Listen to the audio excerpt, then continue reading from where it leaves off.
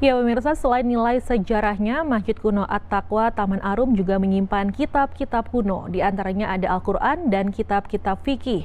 Semua kitab kuno ini masih ditulis menggunakan tangan.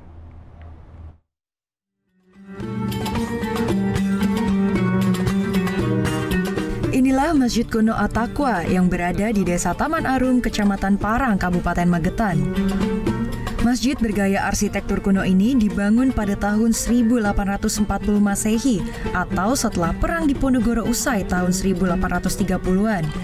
Masjid ini dibangun oleh dua tokoh Islam pengikut Diponegoro yang bersembunyi dari kejaran Belanda.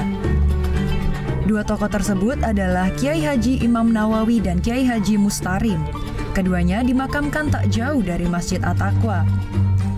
Ada keunikan yang dijumpai jika Anda mendatangi masjid ini, yaitu kumpulan kitab-kitab kuno yang jumlahnya puluhan kitab dan masih tersimpan rapi. Di antaranya ada kitab suci Al-Quran dan ada kitab-kitab yang menerangkan ilmu fikih dan tauhid. Semua kitab kuno ini masih ditulis dengan menggunakan tulisan tangan. Imam Masjid At-Taqwa, Ahmadi menjelaskan, awalnya kitabnya cukup banyak, namun karena waktu itu kurang perawatan sehingga banyak yang rusak. Kitab-kitab kuno ini diyakini digunakan oleh Imam Nawawi sebagai pengikut Pangeran Diponegoro yang mendirikan Masjid Kuno At-Taqwa dalam mengajari para santrinya. Uh, terkait dengan kitab dan Al-Quran ini semuanya pertama ditulis dengan tangan semuanya hampir semuanya tertulis dengan tangan. Terus kemudian kalau isinya ini ada Al-Quran kemudian ada kitab-kitab fikih tauhid dan lain sebagainya yang terkait dengan masalah keagamaan tentang agama Islam. Hmm. gitu.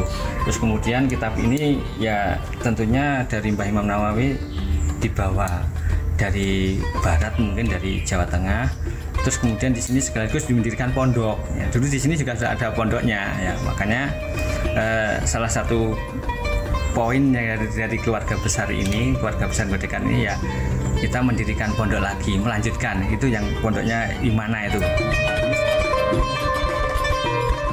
Kitab-kitab kuno yang bertulis tangan ini kini dirawat dan dibungkus rapi oleh Perpustakaan Nasional sehingga lebih mudah merawat salah satu peninggalan sejarah penyebaran agama Islam di tanah Magetan. Saat Ramadan seperti sekarang ini, kegiatan keagamaan di Masjid Kuno At-Taqwa makin meningkat seperti tadarus Al-Quran. M. Ramzi, JTV Magetan, Jawa Timur.